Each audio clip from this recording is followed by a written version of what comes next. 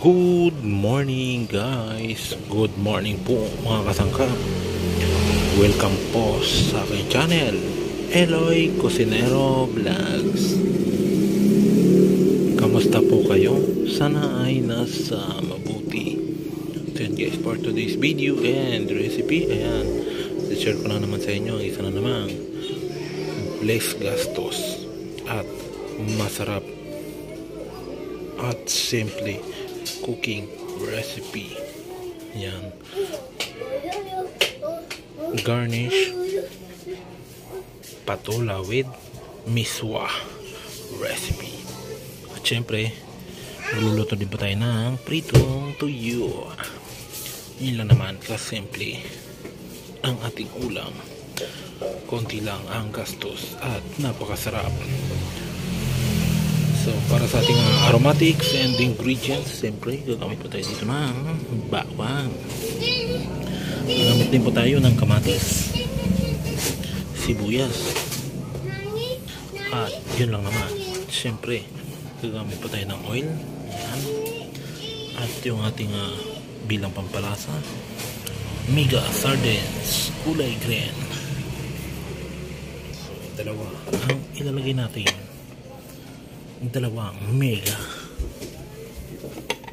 At syempre ang pangpalasa magic sarap all in one mix. Narito yung ating patula at yung ating miswa. So sa halagang 40 pesos ayan meron na tayong ulam. Ah 60 60 pesos So ayan, sa halagang 60 pesos, meron ka na simple at masarap na ulam. Siyempre yung ating tuyo, pipirtuin natin. At start na tayo sa ating cooking, mga kasangkap.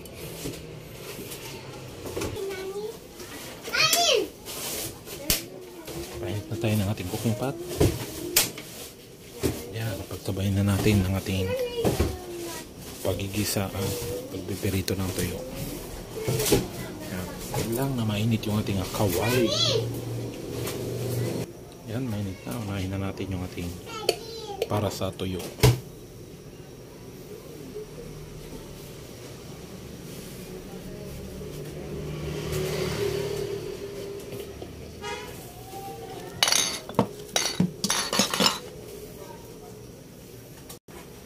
Yan sa kabila natin mainit na rin. Lagyan na rin natin ng oil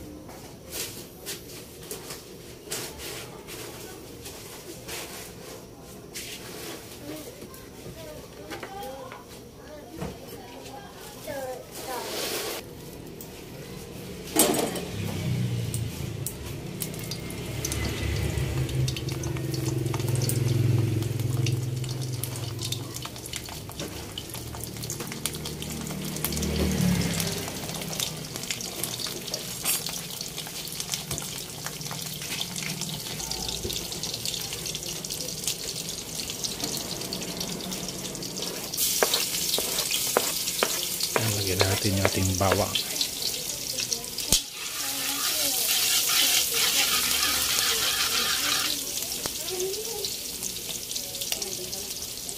natin sibuyas, lagyan rin natin.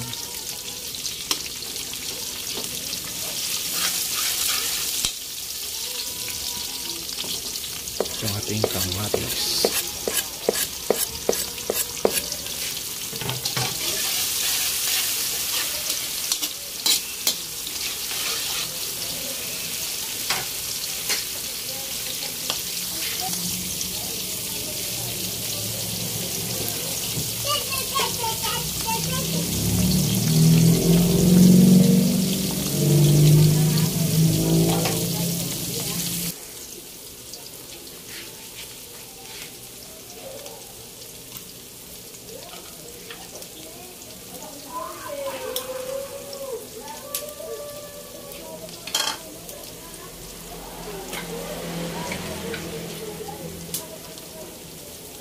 Lagay na natin yung ating sardinas.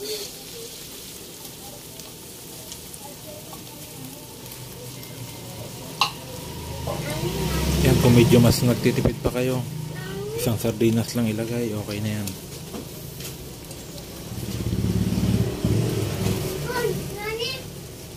Pero mas masarap yung patula pag maraming sardinas.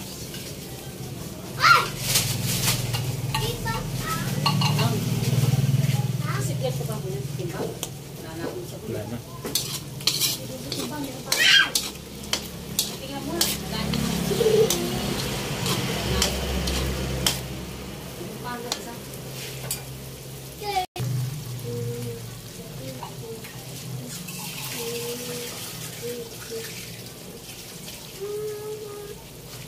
Yung mga kasangkap, lagyan na natin ng konting sabaw. Natin ng dalawang sardinas.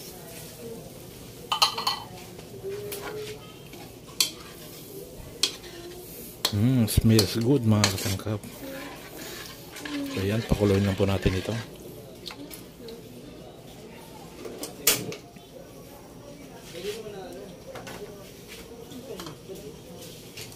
Ayan na, sa kabilang side, nakaluto na tayo ng ating tuyo.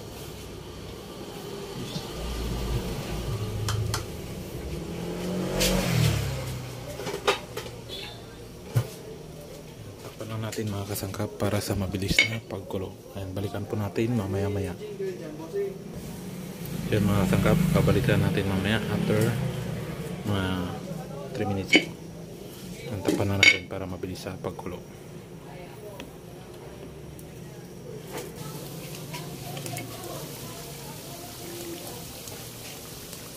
Ayan mga kasangkap.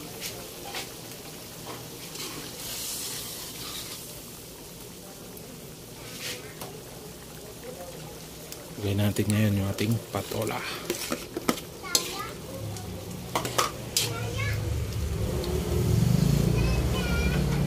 Tuloy lang po natin yung cooking.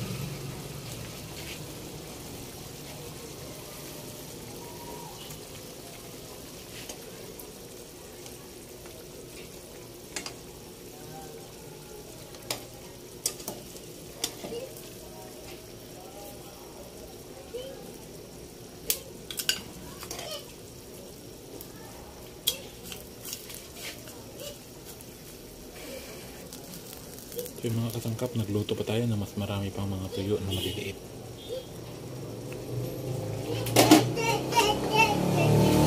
Ito medyo malaki. Ito mga maliliit talaga.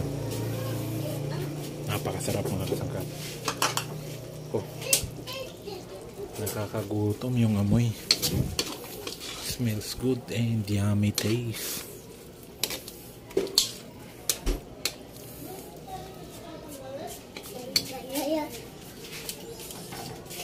Na tayo ngayon ng Magic Sarap All-in-One Mix.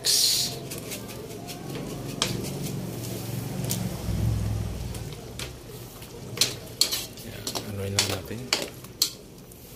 Yan yung pinakapanimpla na.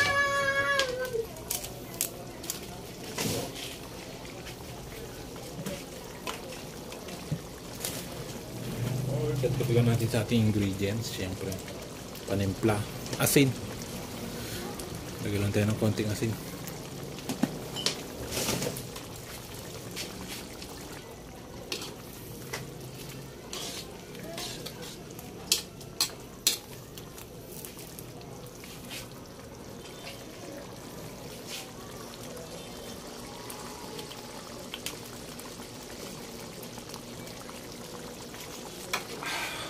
Panalo yung lasa mga kasangkap.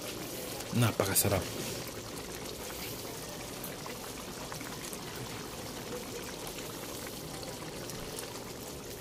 Yan, luto na yung ating patula.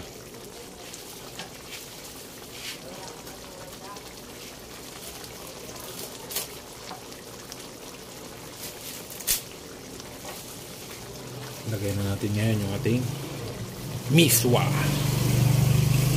Mismo miswa.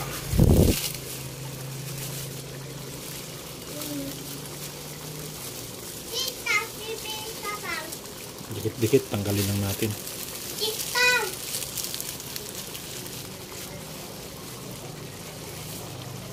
Yung bingo. Bingo. Bingo mga kasangkap. Yun oh.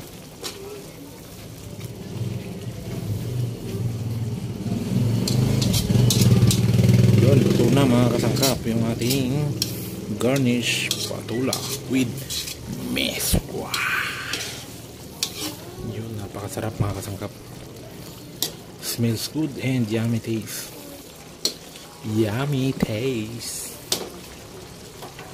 Yan mga kasangkap, sa hindi pa po nakakilala sa akin, ako po si Eloy and you're watching Eloy Cusinero Vlogs na nagsasabing pag walang kain, wala kang energy. Kaya naman, magluto ng masarap kumain ng marami para merong energy.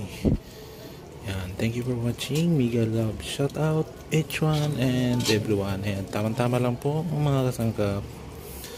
Nakakagutom. Yung amoy. Napakasarap.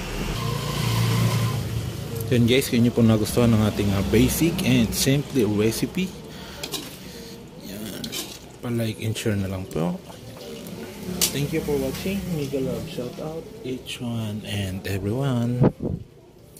And guys, hindi ka pa nakapag-subscribe sa ating uh, mounting channel, subscribe nyo na po si Chef Eloy.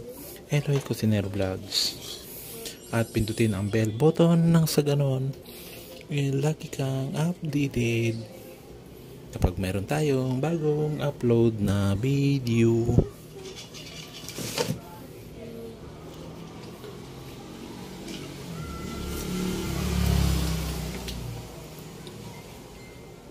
Panalo. The best mga kasangkap. Ang ating basic and simple recipe ayan. Garnish patula with miswa.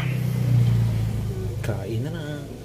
Yum yum yum. At syempre may tuyo sa usawan suka na maanghang tralala.